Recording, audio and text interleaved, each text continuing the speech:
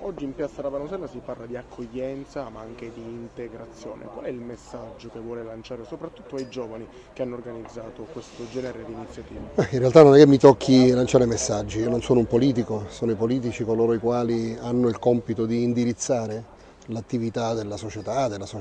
dei, dei gruppi che ne fanno parte, dei giovani.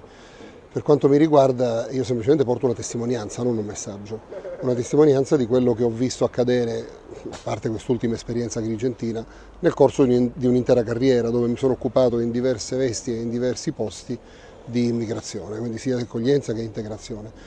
Diciamo che a questo posso aggiungere una mia considerazione personale, semmai, che i temi dell'accoglienza e dell'integrazione sono fondamentali perché l'immigrazione è un fatto,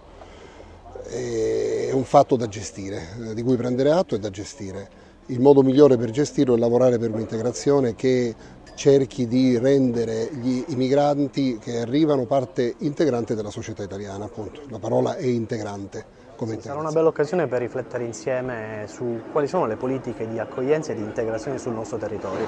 Soprattutto noi rifletteremo come Caritas sul concetto dell'integrazione, proveremo a capire qual è lo stato di salute dell'integrazione sul nostro territorio, cosa si fa già e cosa si potrà fare ancora in futuro insieme. Oggi, a differenza della maggior parte delle volte in cui si parla di accoglienza, parleremo di una fase successiva quella dell'accoglienza nel fenomeno migratorio, che è quella anche più importante, cioè dell'integrazione, ovvero dello scambio con la cittadinanza. Abbiamo deciso di fare questo evento in un posto come Scaro Café a Piazza Ravanusella, nel cuore eh, di un luogo che è eh, comunque espressione anche della comunità di migranti che si è integrata ad Agrigento. Avremo degli ospiti illustri, sarà un talk, quindi avrà una, una forma molto eh, colloquiale eh, e quindi inviteremo tutta la cittadinanza a, a, partecipare e a condividere anche le loro idee eh, per un futuro migliore per Agrigento, più integrato e in collaborazione eh, col, con gli stranieri per annullare il più possibile quel binomio noi-loro che è ridondante nel fenomeno migratorio. Non si può parlare ancora oggi, dopo 30 anni, di migrazione come un evento così sporadico, come un evento straordinario. È diciamo, un percorso che dobbiamo e che abbiamo